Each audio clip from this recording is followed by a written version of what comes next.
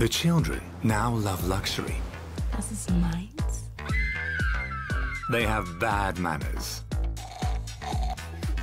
and contempt for authority. Ranting like this about teenagers behaving badly was Socrates more than 2,000 years ago.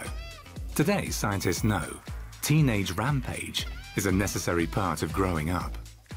Das war schon eine rebellische Zeit. It was a rebellious time. We broke into our school. Ik heb uh, vaak ruzie gemaakt met mijn ouders. Uh, I argued a lot with my parents. They thought I drank too much and stayed out too long. En uh, te laat wegbleef. Stealing road signs comes to mind. So, you know, just pu pulling down uh, stop signs or, or street signs. I have no idea why. I think I first fell in love when I was 13.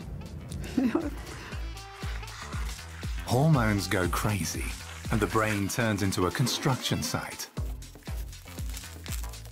Teenagers go mad. And parents do too. But puberty is also a time full of wonder and excitement. Only now, researchers have discovered how important it is for human development.